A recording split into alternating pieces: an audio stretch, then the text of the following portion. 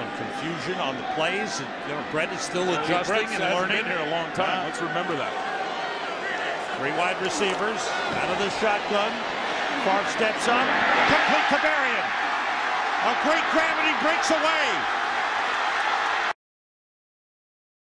Bernard Berrian wrapped up by Dre Bly at the 40-yard line. That time Berrian came up big. He's dropped a couple in the. That time Favre good to grab. step up in the pocket out of his own end zone and just deliver a dart on this deep in route.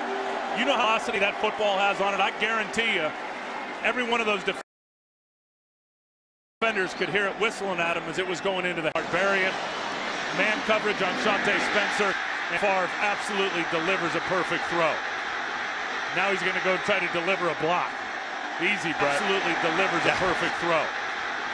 Now he's going to go try to deliver a block. Easy, Brett. Yeah.